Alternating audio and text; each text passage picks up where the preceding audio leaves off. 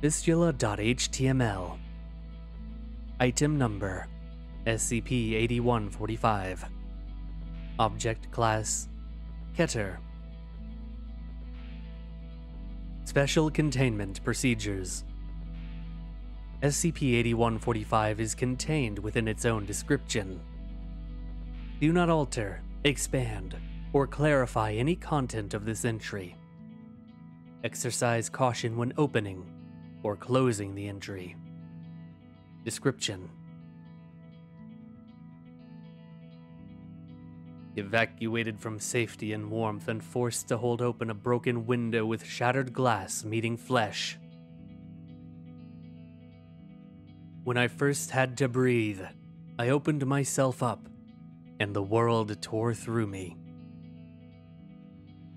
Cold are my hands and feet as the heat bleeds out into those who hold me.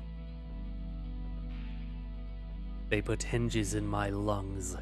They put doorknobs in my entrails. They put a keyhole in my skull.